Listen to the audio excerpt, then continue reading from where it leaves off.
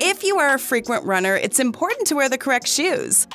You may be tempted to throw on any pair of trainers and head straight outdoors. However, not all sneakers are designed for running.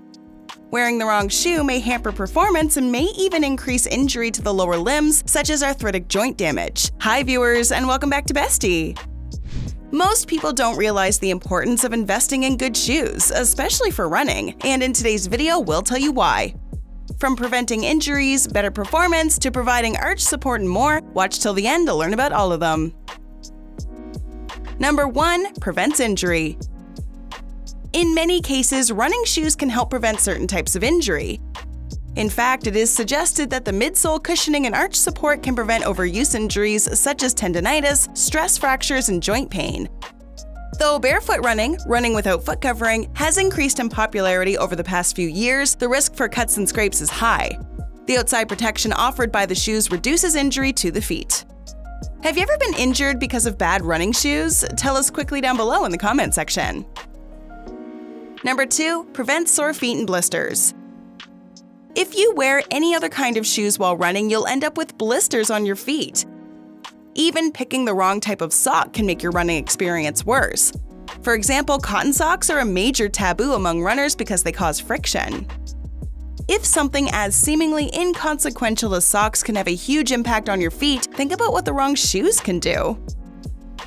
Number 3. Improves performance. Good quality running shoes provide a well shaped, snug fit customized to your feet. They also make your feet feel lighter as you run. When you're not wearing the right shoes, your heels rub, creating blisters. This is not the case when you've got the correct running shoes. Also, choosing the best pair for you comes down to pronation. Pronation simply means the degree your foot rotates toward the inside during your run. All runners fall into two categories. Some have too much pronation, which means their feet rotate too much while running, and some don't have enough. That's why it's important to visit a shoe store that specifically sells running shoes. These days, many sports stores offer in store assistance. Their staff is generally quite knowledgeable and they'll even let you run around in the shoes before making the final purchasing decision. Number 4. Better fit. Good running shoes will provide one thing a snug and well shaped fit that's tailored to your foot as much as possible. They'll also make your foot feel lighter because of how well it takes to the shape of your foot.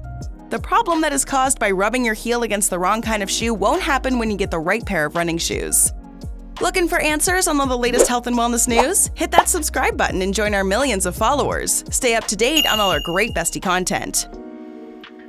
Number 5. Midsole Foot Cushioning Midsole cushioning is one of the most important benefits of running shoes.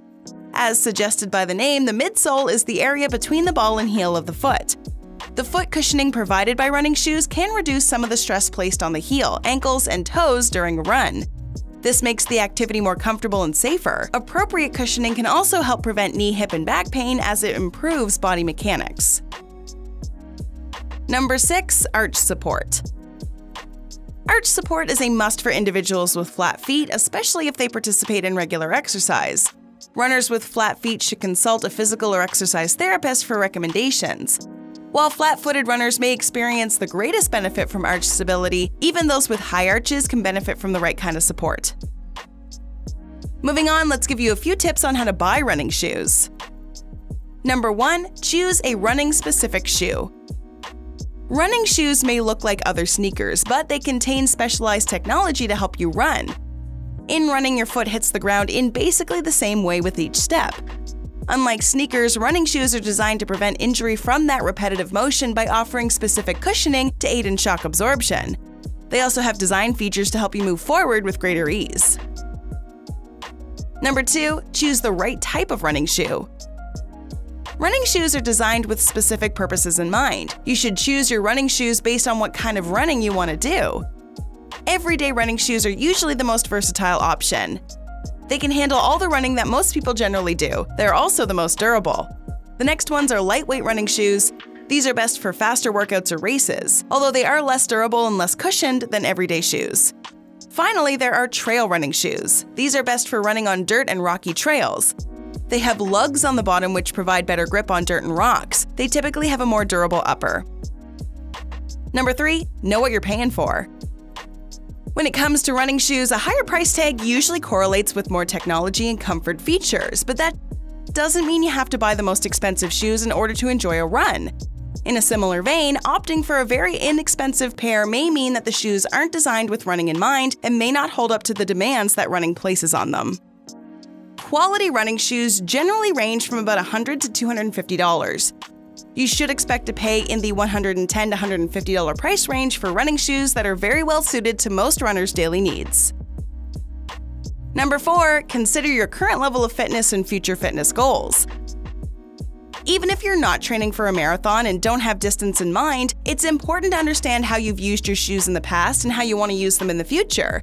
If you're a new runner, you should consider shoes that are a little more protective because you're probably still figuring out your form and want to reduce the risk of injury.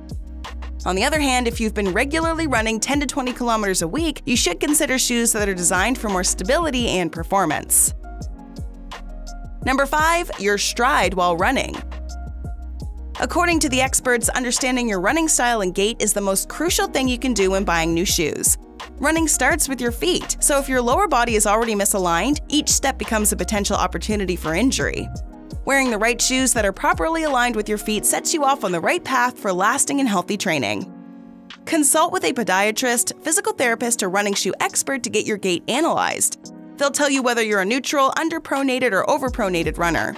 With good running shoes, you can reap all the benefits of running. Learn about all of them by watching Run Every Day and see what happens to your body. Now back to why good running shoes are important and how to buy the perfect ones. Here are some common mistakes to avoid when buying running shoes. Number 1. Buying for looks. Some people are too concerned with fashion and they should steer away from that when buying running shoes. Often, when they get a shoe that looks cool, they might end up getting hurt. Well, physically, of course, because of the shoes. When you buy, think feel and fit, not fashion. Number 2. Asking for deals. When you're ready to pay, ask if there's any discounts available for running club members. Most specialty stores offer discounts from 10 to 20%. Some also offer special discounts to their local track club. Number 3. Buying shoes that are too small. Tight fitting shoes lead to blisters and black toenails. This may apply to some women who can be more susceptible or self conscious about the size of their feet. Play the piano with your toes, meaning the fit should be roomy enough, about half an inch, but not sloppy. Number 4. Shopping at the wrong time of day. A lot of times you may buy shoes in the morning and realize they're too small in the evening. This is because your feet start swelling in the morning and they don't stop until about 4 p.m. That's as big as they're going to get, so always buy your shoes in the evening. Number 5. Assuming your size. People assume that a size is a size, that an 8 in a Nike will be the same as an 8 in a New Balance. But sizes differ because of different foot forms and the way the shoe is stitched together. Have your feet measured every time you buy and always try the shoes on for fit. While running in the correct shoes can be very beneficial for your body, you won't get all the benefits without coupling it with a proper diet. Learn more about the healthiest foods you should eat by watching 50 healthiest foods you should eat regularly, or 20 nutritious foods you should be eating every day. So go ahead and watch one or both of these videos for maximum benefits. What's your favorite heart healthy activity? Let us know in the comment section below.